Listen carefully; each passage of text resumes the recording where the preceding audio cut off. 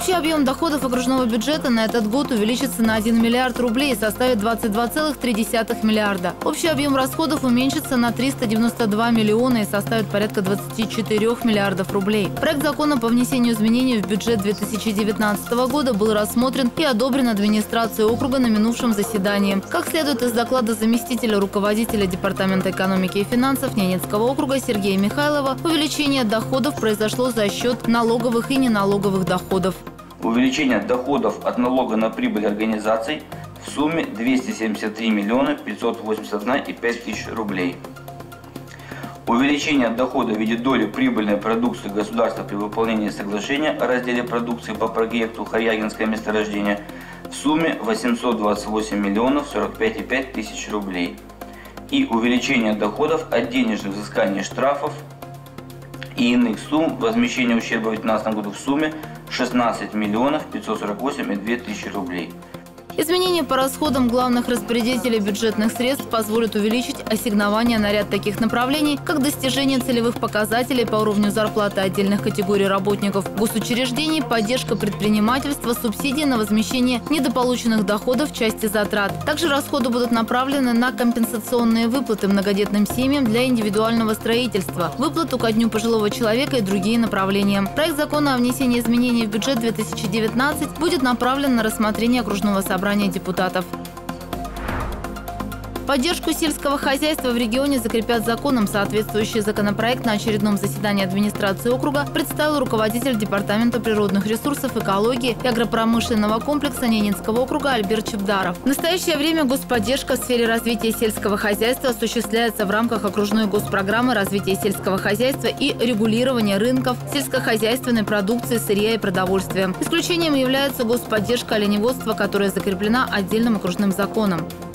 В отсутствии закрепленных э, направлений и форм государственной поддержки не может быть гарантирована стабильность условий развития э, нашего сельскохозяйства, сельско, сельхозтоваропроизводителей. Законопроектом определены цели и субъекты государственной поддержки, основные меры направления государственной поддержки сельского хозяйства.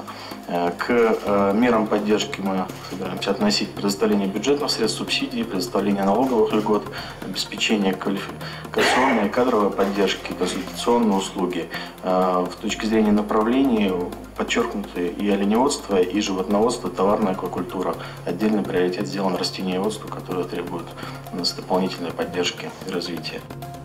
По словам Альберта Чебдарова, для эффективного развития аграрного сектора необходимо стабильное финансирование, которое должно быть гарантировано путем законодательного закрепления направления и форм господдержки в сфере развития сельского хозяйства, на что и направлен данный законопроект. Он позволит снизить административные барьеры и повысить оперативность разработки и принятия нормативных правовых актов. Движение механических транспортных средств разрешено по дорогам в тундровой и лесотундровой зонах Ненецкого округа. Соответствующее распоряжение подписано Департаментом природных ресурсов, экологии и агропромышленного комплекса Ненецкого округа. Решение об открытии движения в тундре принято в связи с установлением устойчивого снежного покрова, который позволяет сохранить целостность оленях пастбищ. Нормативный документ ведомства дает старт обустройству всех временных зимних дорог на территории региона, в том числе основного зимника на Ренмарусинск. К его строительству подрядчик может может приступить уже сегодня. 29 ноября заключили контракт по зимнику на Ренмарусинск. Сейчас приступят к работам.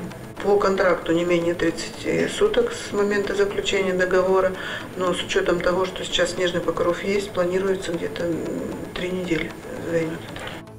В этом году, согласно проведенных торгов, обустройством и содержанием главного зимника региона будет заниматься «Стройуниверсал». С окружной компанией заключен государственный контракт на сумму 83,4 миллиона рублей. Средства выделены из окружного бюджета. Согласно техническому заданию, общая протяженность трассы автозимника будет составлять 54,8 километра. Таким образом, с прошлого сезона она сократится более чем на 16 километров. Как пояснили в централизованном стройзаказчике, это произойдет за счет ввода в эксплуатацию третьего участка строящейся дороги на Ренмарусинск. В прошлом году движение механических транспортных средств по тундре было разрешено с 1 декабря.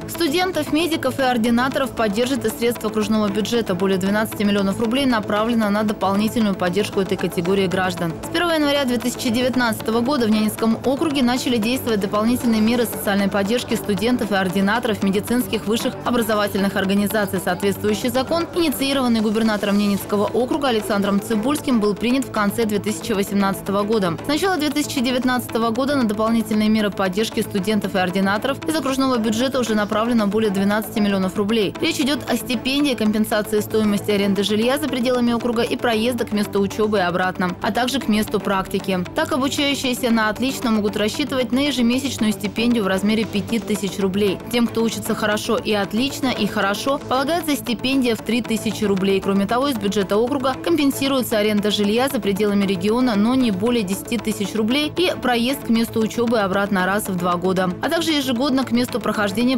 производственной практики и обратно, но не более 20 тысяч рублей. По информации профильного департамента, такими мерами поддержки сегодня пользуются 5 отличников и 9 человек, учащихся на хорошо. Им выплачена стипендия на общую сумму 5,7 миллионов рублей. Более 5 миллионов направлено на компенсацию части стоимости аренды жилья в Санкт-Петербурге, Архангельске и Сыктывкаре. Такой мерой поддержки воспользовались 13 человек. Компенсация стоимости проезда к месту учебы и обратно, а также к месту прохождения производственной практики выплачена 11 студентам. На эти цели из бюджета округа направлено 1,3 миллиона рублей. На госпрограмму обеспечения доступным и комфортным жильем и коммунальными услугами граждан, проживающих в Ненецком округе, в следующем году будет направлено более 1 миллиарда рублей. Из них большая часть средств, 790 миллионов, пойдет на переселение граждан из ветхого и аварийного жилья. Об этом шла речь на заседании профильной комиссии окружного собрания депутатов. Подводя итоги, парламентарии отметили, что необходимо больше средств закладывать на жилье в сельских населенных пунктах, в том числе специализированного жилфонда, поскольку во многих населенных пунктах сформированы участки. Определены подрядчики для зимнего содержания региональных дорог. Победителями двух электронных аукционов на оказание соответствующих услуг стали строительно-промышленная компания «Темдорстрой» и «Стройуниверсал». «Стройуниверсал» будет заниматься содержанием автомобильных дорог на территории Наринмара и поселка Искатели. Участка между Наринмаром и съездом к тепличному комбинату «Солнышко», дороги от окружной столицы до поселков Искателя и Красного, а также участка дороги город Наринмар – Лаевош. Цена контракта составляет порядка 173,5 миллионов рублей рублей. Цена контракта второго электронного аукциона составляет порядка 69 миллионов рублей. Победитель будет обслуживать три участка автодороги. Наринмар-Усинск – это 48-километровый участок от границы Ненецкого округа, подъездная автомобильная дорога к поселку Харягинский и третий участок дороги Нарьянмар-Усинск протяженностью порядка 15 километров. Победители электронных аукционов должны будут с января по май содержать дороги в надлежащем состоянии, обеспечивая круглосуточное, бесперебойное и безопасное движение транспортных средств. Источник финансирования финансирования бюджет Ненецкого автономного округа. В Нарьянмаре прошел благотворительный концерт «Добрые песни о главном». Девятый раз на сцене Дворца культуры «Арктика» выступили сотрудники и руководители окружных учреждений, депутаты всех уровней. Концерт проходил два дня и собрал 950 тысяч рублей. Эти деньги решено передать на лечение нашей землячки. Девятилетней Варе Журавлевой, которая с диагнозом рак мозга в настоящее время проходит лечение в израильской клинике. Билеты на благотворительный концерт в этом году были раскуплены практически за две недели до его проведения. Концерт, который проходил два дня, собрал аншлаги. Его посетили более тысячи человек. Особенность благотворительного концерта 2019 года – весь репертуар исполнителей родом из 90-х, хиты дискотек и шлягеры, популярные в конце прошлого века. На сцене представители органов власти, работники государственных бюджетных учреждений и организаций. В концерте приняло участие более 40 человек. Организаторами мероприятия традиционно выступают Дворец культуры «Арктика» и Ненецкое региональное отделение Российского Красного Креста.